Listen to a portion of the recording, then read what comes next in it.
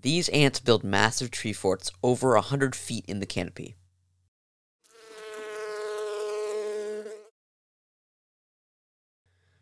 Welcome to Bug of the Week Part 6. I'm super excited about this episode, so if you enjoy this episode, then consider leaving a subscribe and a like. And also do me a favor and leave a comment on this episode um, with your favorite weird fact from this episode. Um, yeah, it really helps the channel out and it encourages a discussion in the comments. So, without further ado, let's just hop right into this. Meet genus Oecophylla within the family of Formicidae, or commonly known as ants. Within the genus of Oecophylla, there is 15 species of ants, um, and their kind of common name is known as weaver ants. They inhabit the Afrotropics from Sri Lanka all the way to northern Australia, and I'll get into why they're called weaver ants in a minute, but first let's talk about some of the anatomical characteristics that these ants have. Now, most ants have something called major workers and minor workers, so majors and minors. Now, major workers of the species typically measure about 8 to 10 millimeters in length, give or take, and they have long, skinny bodies and legs, which aid them in traversing the canopies, as they are very adept arboreal climbers. These ants also have long, dual jointed antennae, which aid in communication through pheromones, hunting, and as well as nest construction, which I'll get into in a minute. Weaver ants also have large compound eyes, making them highly visual and aware of their surroundings more so than most other ants. They're also often referred to as green ants due to a certain Australian species having translucent green gasters. Unlike most ants, the weaver ant does not possess a sting of any kind, although they can bite and then spray a mild formic acid into the bite wound.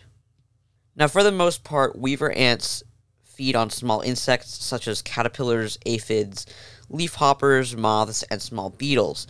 Although these ants are mostly carnivorous, they have also been found to also forage for flower pollen and nectar, which is pretty cool. Now, actually, like all ants, weaver ants have two stomachs. One is its personal stomach, and their extra stomach is called a social stomach. When an ant eats, the food goes into both stomachs, one to fuel the individual ant and one to help feed the colony. Now, the way they use their social stomach is really interesting. It's done through a process called trophallaxis, where two workers will meet and regurgitate the food from their stomach, from their social stomach, into the mouth of the other ant, um, and this helps to feed the young, the other workers, the queens, the queen and or queens, because this species can have multiple queens in one colony. Now, also like all ants, weaver ants use pheromone communication to locate food, water, and new nest building sites. A worker will leave a pheromone trail as they are locating food, which they will follow back to return to their nest really effectively.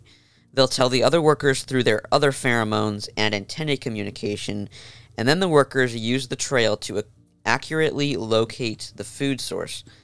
The amazing thing is that ants can use pheromones in 3D space, also regardless of elevation or rainfall. Okay, now let's get into the really fun stuff. The thing that makes this ant really unique, and that's the formation of their colony structures. So after a queen weaver ant mates, she finds a large secluded leaf and drops her wings.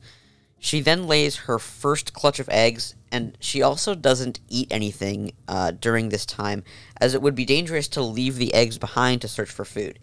And so, because she can't eat, she lives off of the internal wing muscles, as she doesn't really need them to fly anymore. And so, she lives off of those muscles. They break down, give her nutrients, and she doesn't eat for this whole time. She carefully raises the eggs on her own into larvae until they pupate and emerge as adult weaver ants. Now, this is when she can finally eat as the workers feed her through trophallaxis, like I explained earlier. Now, this is when the workers use their pheromone trails to locate a new nest site in the lush canopy.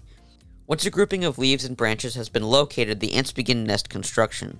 Now, the crazy thing is, some of the leaves that they use can be 10 plus inches wide, and so making that makes it quite the feat for these small insects to achieve. Thousands of ants will gather at a time and will line up along the edge of the leaf and begin to fold and roll the leaf over. Other workers then intervene, milking the silk from the larvae of the ant and using it as glue to secure the edge of the leaf. So basically, they use baby ants, the larvae, as glue guns, essentially. With a series of folded and rolled leaves, the ants can then move the colony into their new home. The queen can now begin laying eggs, and the ants are always adding new leaves to their nest, as they often get damaged in storms or the need arrives for more space for colony growth. So when you see these nests, it basically looks like rolled up leaves, and they've got a bunch of silk on the inside and outside, and they use that to secure the leaves and make a nest. Now, this is the craziest thing about all of this. Sometimes a large colony of weaver ants can reach half a million workers strong, and with seven to eight queens sometimes. So they can just keep making queens. The queens leave, mate, come back, and join the massive the massive colony. And a nest will span several trees long. And I'm not talking about like little tiny trees that you find in your neighborhood. I'm talking hundreds of feet in the canopy. And these trees are 12 feet in diameter. It's insane. They're massive. And these trees stretch 100, 200 feet tall. So these leaves are huge. The trees are huge. And they can take up several trees long. They just keep building as they expand. Oftentimes, queens won't even see workers from another queen because they're so branched apart from each other. So, with that, I hope you enjoyed this episode of the Bug of the Week by Lil Dudes Insect Academy. And if you did leave a comment, please um, subscribe and leave a like as well. It really helps us out. So, yeah, I hope you enjoyed learning about the weaver ant. I know this is definitely one of my favorite species of ants. Uh, super fascinating, super weird and cool and unique. Um, so, with that, I will see you all next week and keep on bugging.